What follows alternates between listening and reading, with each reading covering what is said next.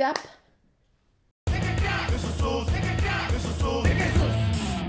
Cette année, j'ai participé à la nouvelle saison des, des Cassos. Et euh, ils m'ont écrit des rôles euh, assez sympathiques, je dois dire. Et toi, Willy, qu'est-ce que t'as eu? J'ai eu le sida. J'ai découvert les Cassos euh, en même temps que je le faisais. En fait, je ne les connaissais pas avant. Qui m'appellent Ils m'ont appelé. À l'époque, c'était pour faire Bonne nuit les petits. Et il y avait Nicolas et Pimprenel. Et ils m'ont demandé de faire Nicolas et Pimprenel. Et puis on s'est tellement bien entendu que du coup je suis revenue pour faire E.T., puis euh, deux, trois petits garçons qui passaient par là. Ça fait deux mois que j'ai pas dormi. Ah bon, mais pourquoi ça Oh putain non Hey, et hop Ah d'accord, je crois que je situe le problème là, ça y est. Bonsoir les enfants N'importe quoi. Iti, c'est mon meilleur ami. Allez, viens, Iti. Rentrons chez nous. Ah Oh, Between Je pense pas que j'avais vu avant d'enregistrer. Ou avant qu'ils me disent que, que j'allais enregistrer ça. Du coup, je suis allée voir. Et euh, évidemment, je suis tombée sur le petit lapin. Et euh, moi, ça me fait hurler de rire, quoi. Et euh, j'adore, j'adore cet humour. Franchement, ça déchire le son. Ah, Eh, c'est garé quand même un peu, regarde oui.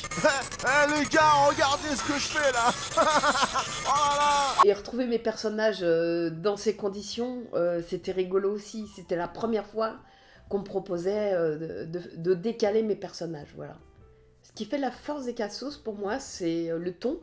C'est un ton euh, qu'on n'a jamais eu avant. C'est le, le, le côté qu'on on n'a pas obligation d'être politiquement, euh, politiquement correct. On, peut aller au bout d'une idée.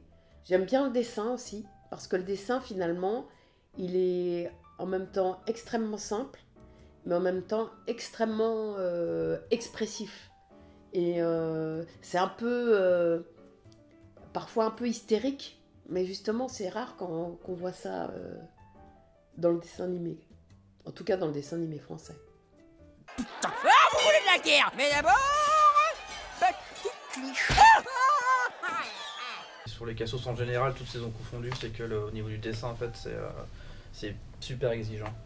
Et euh, même si c'est de l'anime limité, euh, c'est-à-dire que ça bouge pas beaucoup parce qu'il y a des contraintes de budget, euh, de temps, il faut des dessins qui soient hyper hyper efficaces à, à chaque étape en fait. Même à l'animatique, en fait, il fallait quand même que les attentions soient là et que ce soit vraiment. On passait notre temps à dire pousser les poses, pousser les actings. Si la voix a dit ça, il faut que le personnage à l'image, il, il, il en dise trois fois plus. Mec, pour Noël, j'ai eu un Simon Trop cool Et ben moi, j'ai eu une console de jeu Vous êtes grave tous Avec mon Les cassos sont faits en pré-recording, donc euh, c'est-à-dire qu'on enregistre les voix avant de faire les dessins. Donc ils m'avaient envoyé les textes et euh, que je sois d'accord avec ce que j'allais dire. Et puis, euh, et puis on enregistrait. On compte beaucoup sur, euh, sur l'univers du comédien qu'on est en train de- d'enregistrer pour, euh, pour nourrir le personnage. C'est-à-dire que souvent, quand on enregistre, en fait, on a le dessin et le comédien doit se caler sur le dessin et tout ce que tu dis ou fais doit entrer dans l'ellipse et euh, dans le dessin. Or là, pour les cassos, en fait, comme on est en pré-recording, tout ce que je vais rajouter, tous les rires, tous les, cris, tous les sentiments, même les morceaux de phrases, parce que tu dis pas forcément ce qui est écrit euh, au pied de la lettre, dans ce cas-là, euh, t'inventes des trucs et puis t'es euh, en bonne compagnie donc tu rajoutes des phrases et tout et du coup ben ça le réalisateur si ça lui plaît il peut les garder À mon avis, on est dans le pancréas. Ah non, ça sent trop mauvais. À mon avis, on est dans l'intestin. Ah non, ça sent trop mauvais. À mon avis, on est dans l'intestin. Ah non. Ah non, bah, ça sent trop mauvais. Moi, je pense qu'on est dans l'intestin. C'est rigolo parce que tout est permis Euh, souvent euh, quand tu doubles un, un film un dessin animé un personnage euh, on donne tout ce qu'il faut pas faire enfin on te fait la liste de tout ce qu'il faut pas faire pas dire on doit parler comme ci comme ça on doit faire toutes les négations et là d'un seul coup on se moque de toutes euh, ces choses là et on fait comme on sent et on joue à fond quoi moi je suis à fond. hein. Quand j'y vais, euh, je suis à fond. Le concept c'était un peu de renouveler le truc et puis je pense que les gars aussi vous vouliez faire quelque chose de différent tout simplement en fait. Oui, parce que ben, euh, Alexis, euh, qui a réalisé les autres saisons, euh, enfin, qui en a créé les, les, Cassos, nous, on- n'était pas chaud pour repartir dans le bureau de l'assistante sociale. On voulait pas. voilà, grosso modo, on a dit on veut bien qu'il y ait une saison 4 à partir du moment où ça soit une nouvelle équipe qui, prenne à, à bras le corps le, le bestiau et qui. Et puis qui fasse sortir du bureau aussi pour, euh, pour euh, renouveler un petit peu le concept.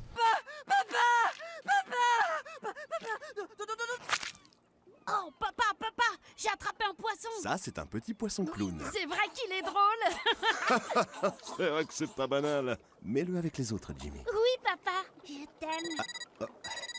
Allô? Bah, ça, cha- ça a changé plein de choses de faire ça aussi. Au niveau de la scénarisation, des idées, c'est. On peut dire que ça a été beaucoup plus dur aussi. Ça je sais pas. J'étais pas sur les saisons précédentes. Bah, ça a été plus dur, oui. Mais ça a été plus dur pour toi. bah, le décor, en vrai, euh, il faut, tu le fais aussi. euh, Enfin, une première base de décor euh, en même temps que le layout posing, histoire que ça aille à peu près ensemble. Quand les personnages marchent, qu'ils ne soient pas dans le vide ou dans le ciel ou je ne sais où. Et euh, du coup, ouais, c'est ça. Après, je récupère les animes. euh, J'installe tout ça dans ma machine. Décor perso, et puis là. je- Et du bois. beaucoup de bois, des coups de marteau. Des gros boutons. Et tu mets beaucoup de lumière, ouais, t'appuies très fort sur les boutons. Et bam, Et ça, paf. ça fait des chocs à pic.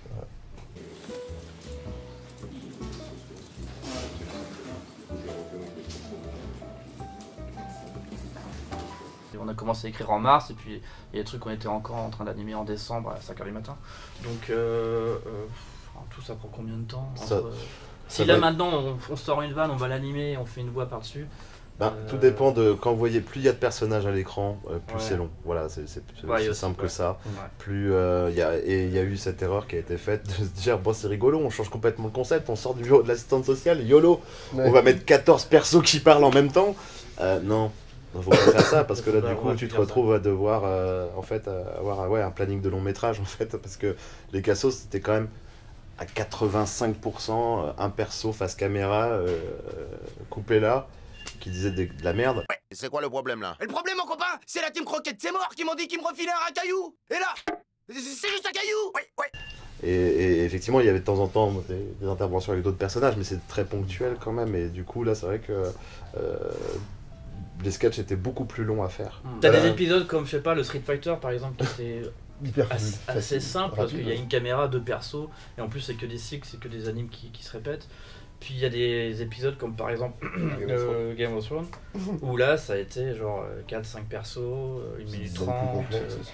vachement des designs hyper complexes, euh, vachement, vachement d'act- d'acting. euh, et alors lui il a pris des mois je crois.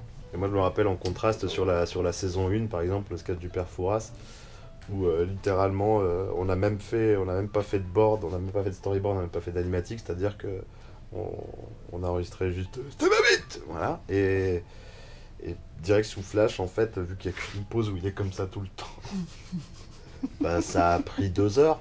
Voilà. Entre le moment où, euh, avec Alexis, on était en train de faire perdu, oh, c'est rigolo, et puis le moment où le, le sketch était fini, c'est passé deux heures et demie. Donc voilà, ça, arrive. ça arrive. Ça arrive. Et parfois ça prend deux mois et demi.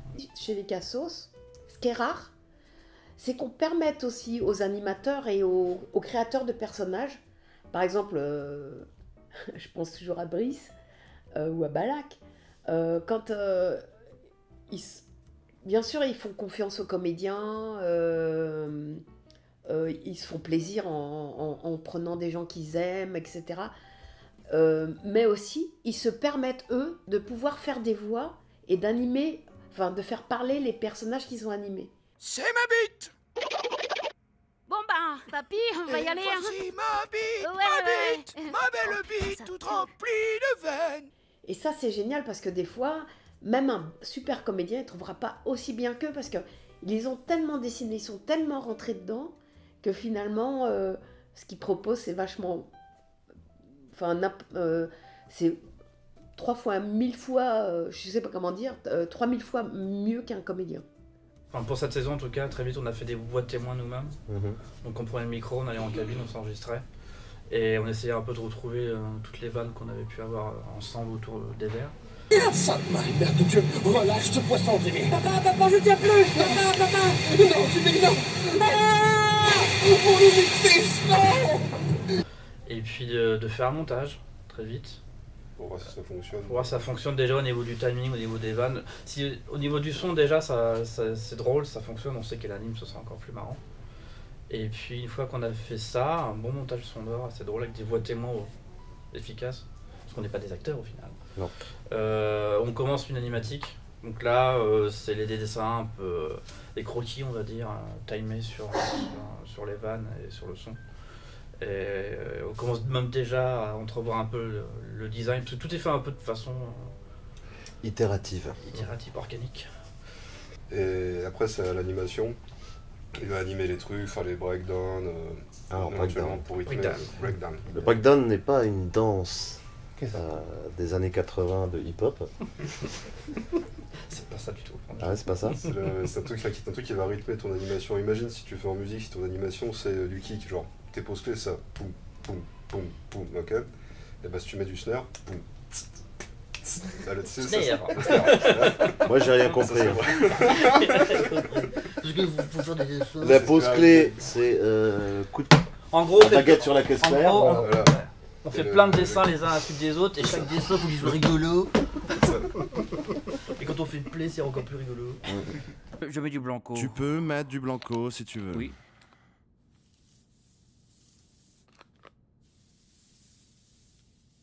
T'as fait un pâté? Euh, C'était très chouette de- de- d'enregistrer avec eux et, et de les retrouver et de retrouver euh, toute cette équipe. Quand tu vas chez les Bobby Pills, tu peux y aller à n'importe quelle heure du jour et de la nuit. Tu as toujours des, des gens qui sont en train de dessiner, de chercher des trucs. Et même quand ils bossent pas pour une production, ils bossent pour eux ou ils font. Enfin, ils sont toujours en train de faire quelque chose. C'est pas chacun pour sa pomme. euh, quand quand il y en a un qui a besoin de renfort, euh, euh, t'as toute l'équipe qui, arrive, etc. Et, j'aime bien cet esprit-là, quoi. C'est vraiment, c'est vraiment une équipe.